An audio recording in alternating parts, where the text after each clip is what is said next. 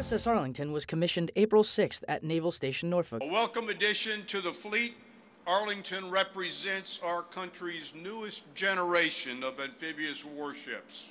The ship is named for Arlington County, Virginia, and honors the first responders to the Pentagon and the 184 victims who died when American Airlines Flight 77 crashed into the Pentagon September 11, 2001. Today, we commission USS Arlington, a living tribute to those who perished on the grounds of the Pentagon.